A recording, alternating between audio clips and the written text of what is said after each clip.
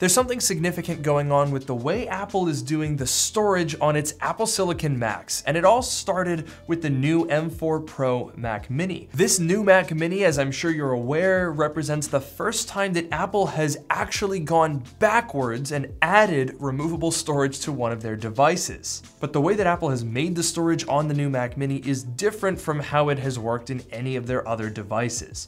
So let me open up this M4 Pro Mac Mini and show you what I'm talking about. So once we remove that fan assembly there, we can see the storage module that Apple is using. Now, crucially, my Mac Mini here is the base model, and that means that we have a total of four 128 gigabyte NANDs here, but this module actually represents a pretty big shift in the way that Apple is building these modules.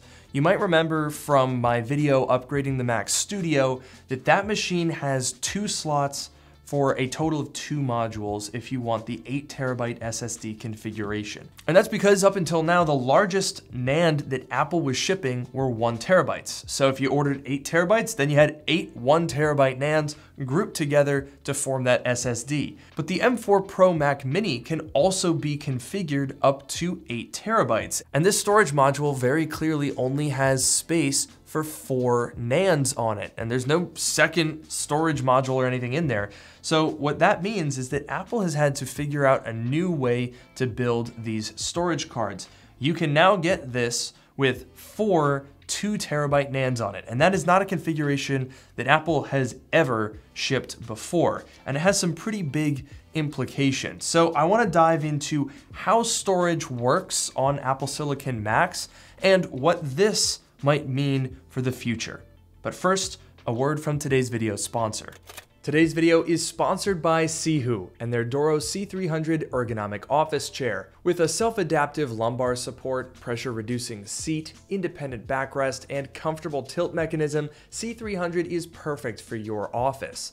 Sihoo spends a lot of time perfecting their ergonomics, so the lumbar tracking system is precisely designed to offer support even if your sitting posture changes frequently. I found this lumbar support really useful while video editing. It kept my lower back supported and improved my overall posture significantly. And I also really liked how the armrests are attached to the backrest. That means you can lean back without having to readjust your arms. It offers up to 112 degrees of tilt, allowing you to remain comfortable in all situations.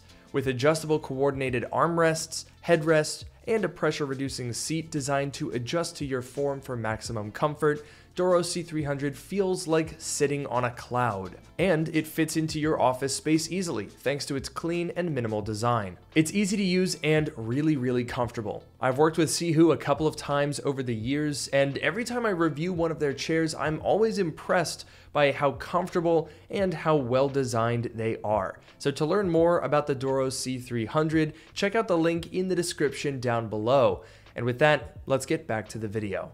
All right, so we'll come back to our M4 Pro Mac Mini, but first we gotta talk about what this is. Because you'll notice that I keep using the word NAND and module, but I'm not calling this an SSD. And that's because it isn't. I went into more detail in my Mac Studio storage upgrade video, but if we zoom in on a regular NVMe SSD, there's a bunch of NAND, and then there's also this big chip here. And that's the SSD controller. It's what manages all of the data on the drive. This doesn't have one because the SSD controller is part of the Apple Silicon SoC. So if I took this storage module and put it into another Mac mini, it would have absolutely no idea what to do with that information. It would not be able to boot. But of course, that complication only really exists on these removable storage cards. How does it work in a MacBook?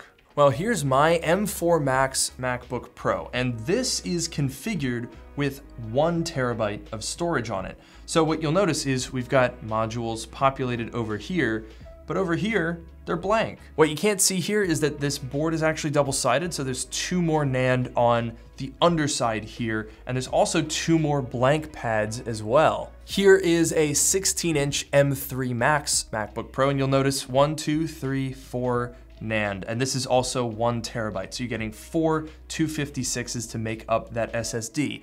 And again, on the other side here, we have four blank pads.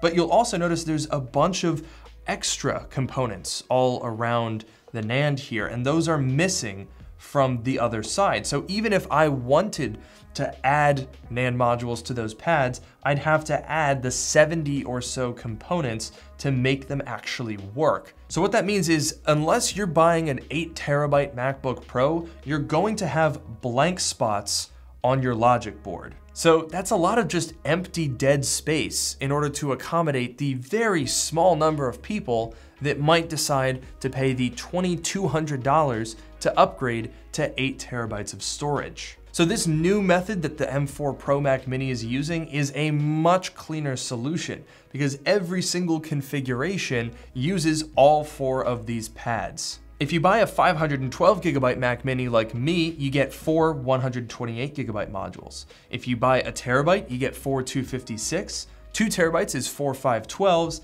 and four terabytes is four one terabytes. So no matter what configuration you're buying, you're gonna use all the pads. There's no wasted space, there's no empty parts of the logic board. It's so much better. But you might be noticing that there's something a little wacky going on here, and that is that the M4 Pro Mac Mini can be configured with 8 terabytes of storage, but the M4 Pro MacBook Pro can't. And the thing is, that didn't used to be the case. In the past, the M1 Pro and the M2 Pro could go up to 8 terabytes with 8 NAND modules.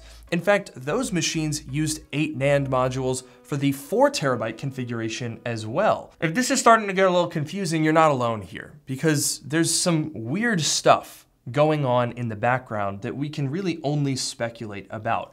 But the long and the short of it is, Apple seems to be simplifying the way that their storage configurations work. In fact, if you have an M3 Pro or an M4 Pro MacBook Pro, open it up. You will find a completely blank logic board in this corner. They don't even have the pads. Now, the most likely explanation behind all of this weird storage nonsense is manufacturing simplicity.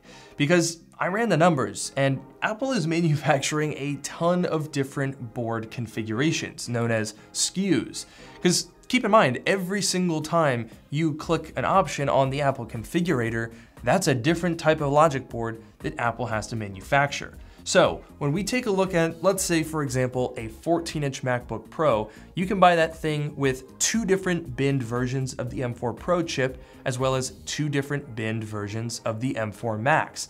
And each of those has multiple memory configurations, and each of those has multiple storage configurations.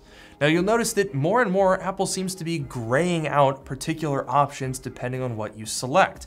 That is all an effort to reduce the number of logic boards that they have to manufacture. But nonetheless, if we combine all of the different options that you can order on a 14 inch MacBook Pro, there are 32 distinct combinations. That means 32 different types of logic boards that Apple needs to manufacture.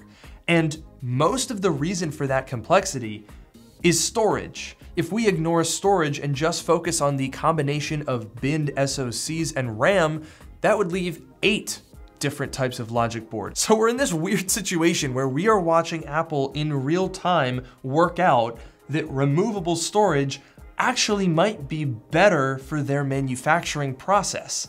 I mean, take a look at the M4 Pro Mac Mini, for example. Because of that removable storage, there's only six combinations that you can configure, and you can already see the benefits to the end user. If you go to a 14 inch MacBook Pro with that same chip, they won't let you equip it with 64 gigabytes of RAM, only 24 and 48. What reason, other than trying to keep the number of board SKUs down, would Apple have to not allow you to order 64 gigabytes on a MacBook Pro when you can do it on a Mac Mini no problem? And you might be saying, well, why didn't Apple do this on the new MacBook Pros? Look, this thing just came out a couple of months ago, the same week as this Mac Mini, and it's still using their old storage method with all this empty space on the logic board.